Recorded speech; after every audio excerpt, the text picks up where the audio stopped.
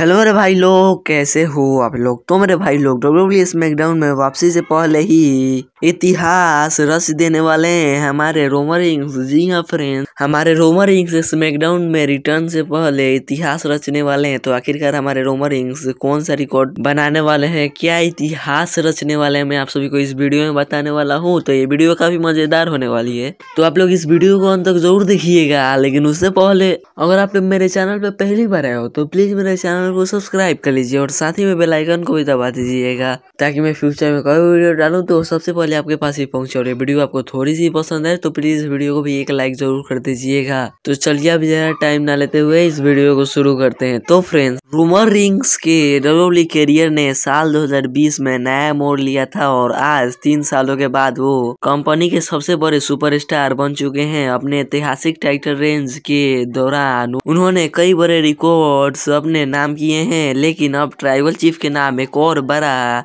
कीर्तिमान जुड़ने वाला है। आपको बता दे कि रोमन रिंग्स इस हफ़्ते स्मैकडाउन में आने वाले हैं, जो करीब डेढ़ महीने के अंदर उनका पहला अपीयरेंस होगा। पंद्रह दिसंबर के स्मैकडाउन से दो दिन पहले ही रोमन रिंग्स का ऐतिहासिक टाइटल रेंज बारह सौ दिनों के आंकड़े को पार कर चुका होगा। आज तक चैंपियन के रूप में केवल तीन रेसलर्स ही बारह सौ दिन या उससे ज़्यादा समय तक चैंपियन रह पाए हैं। मौजूदा समय की बात करें। तो शायद डब्ल्यू ने संकेत दे दिए हैं कि रोमन रिंग्स का रॉयल रंबल दो में प्रतिबंधी कौन हो सकता है? सर्वाइवर सीरीज़ जो तेईस में वापसी के बाद रेंडी ओटन को ट्राइबल चीफ के संभावित चैलेंजर के रूप में पेश किया जा रहा है जिन, जिनसे रिंग्स की भीड़ट को समर स्लैम दो के लिए प्लान किया गया था। हालाँकि ये मैच तो नहीं हो पाया क्योंकि हमारे रेंडी ओटन इंजर्ड हो गए थे और उसी इंजर्ड के बाद फ्रेंड्स मैं आप सभी को बता दूँ अगस्त के महीने में समर स्लैम का इवेंट होता है और इसी इवेंट के लिए हमारे रोमर रिंग्स का प्लान हो गया था मैच और इसी महीने के लिए हमारे रोमर रिंग्स का मैच कंफर्म हो गया था रेंडी ओटन के साथ। और ये मैच होने भी वाला था कि मई के महीने में हमारे रेंडी ओटन इंजर्ड हो गए थे और इंजर्ड होने के करीब डेढ़ साल बाद हमारे डब्ल्यू में रिटर्न आए रेंडी ओटन और बताया ये जा रहा है कि इस बार के फ्राइडे स्मैकडाउन पे जब हमारे रोमर रिंग्स रिटर्न आएँगे तो उनके सेगमेंट में हमारे रेंडी ओटन दखल अंदाजी करने वाले हैं, जिससे इनके बीच